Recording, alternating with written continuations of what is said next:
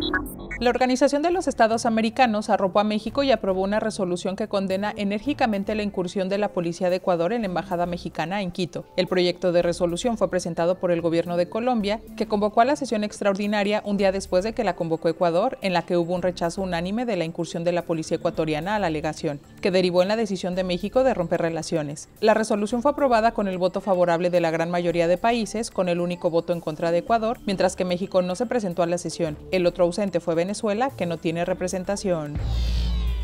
La canciller de Ecuador, Gabriela Sommerfeld, calificó de justa la resolución de la Organización de los Estados Americanos que, condena la incursión de la policía ecuatoriana en la Embajada Mexicana en Quito y que pide respetar las normas de asilo. En declaraciones a medios, Sommerfeld destacó que es una resolución justa donde se ve el incumplimiento del uso de las sedes diplomáticas también, así que vamos adelante como Ecuador. Vamos a hacer respetar también nuestra versión de los hechos, dijo. Además de la condena enérgica por la irrupción en la embajada, la resolución de la OEA señala que las embajadas deben respetar las leyes y reglamentos del Estado receptor y tienen la obligación de no inmiscuirse en los asuntos de dicho Estado, algo que resaltó Sommerfeld.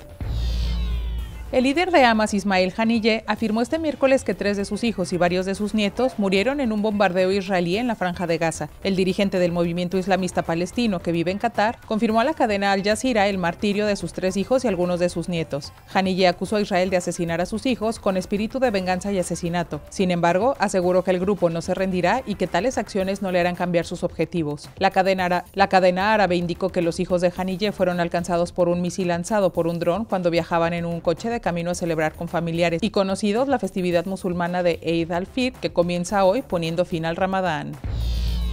La autopista interestatal 95, que se extiende casi 3.100 kilómetros desde Florida hasta la frontera con Canadá, es una de las mayores rutas de tráfico ilegal de armas en Estados Unidos, según un estudio de la Universidad de Columbia. Los investigadores usaron datos de rastreo de armas del Buro de Alcohol, Tabaco y Armas de Fuego y midieron las transferencias interestatales de armas empleadas en crímenes entre 2019 y 2020. En el periodo estudiado, 275.345 personas murieron y 803.393 fueron atendidas en salas de emergencia debido a tiroteos, y tan solo en el 2019, más de 3.000 armas de fuego transadas en compras interestatales se usaron en distintos crímenes como asaltos, robos y homicidios.